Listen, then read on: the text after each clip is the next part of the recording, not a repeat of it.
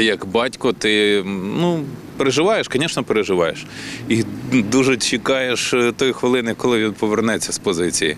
Батько і син Олександр та Назар Міхальчуки – добровольці з лютого 2022 року. Хлопець під командуванням батька служить у 19-му стрілецькому окремому батальйоні. Назар Міхальчук каже, повномасштабне вторгнення застало його у Київському будівельному коледжі, де він навчався на першому курсі. Прокинувся від вибухів е, по е, аеропорту в Борисполі. Тобто було три ракети, я прокинувся о 5 ранку, подивився, ще ніяких новин не було е, про те, що почалася повномасштабна війна, але я зрозумів, що це вже, вже не хорошо. Я пробував в Києві спочатку піти, ну вважав, що це більш доцільно, ніж вертатися Хмельницький, що в Києві тут є наступ, і тут я можу бути корисним. Але в Києві мене не прийняли в тероборону, тому що в мене не було всіх документів. Я мусив вертатися в Хмельницький. Я думав, ну значить така доля, щоб бути разом з батьком. За словами Олександра Міхальчука, повідомлення про початок повномасштабного вторгнення зустрів у Львові, де працює останні сім років. Служив в Збройних силах України до 2005 року.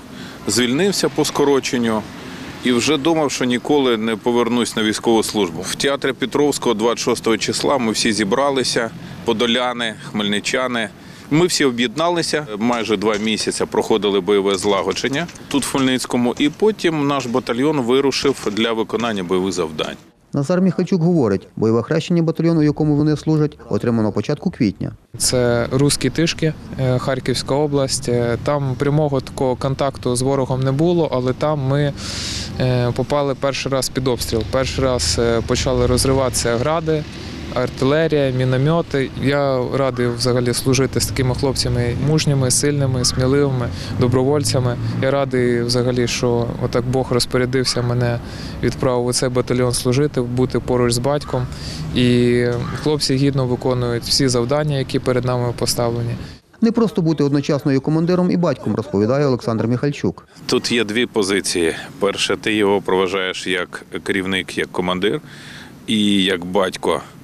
Як керівник, е, ти дивишся, зустрічаєшся з ним поглядом, е, подивилися друг на друга, побажали всього найкращого, пожали руки, поїхали.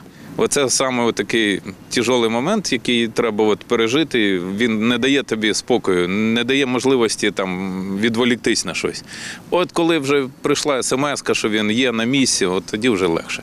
Жав всім руки, мені жав руку, казав, все, давай з Богом, там повертайся, чекаю. І я вертався, і він також зустрічав. Тобто, ну, звісно, як батько він хвилювався. Я за батька теж хвилювався. За словами Олександра Міхальчука, найважче нині в родині дружині, котра з молодшим сином тримає сімейний тил. Дружина, як і всі жінки, дуже переживає. Ну, Всі жінки переживають, всі жінки думають про те, що як це можна, щоб ми всі пішли. Але в нас є е, наша заміна. Е, молодший син, якому 14 років. Він лишився з мамою і він допомагає мамі. Старша в домі завжди була мама, є і буде. Вона зберігає порядок та красу в нашому домі. Я залишився підтримувати маму. Мамі було дуже тяжко. Мені було тяжко від того, що просто йдуть мій батько і брат. Нині батько і син перебувають у медзакладах області. 23-річний Назар Міхальчук відновлюється після поранення. 50-річний Олександр Міхальчук проходить реабілітацію після травми. Михайло Жила, Юрій Чорний, Суспільне новини, Хмельницький.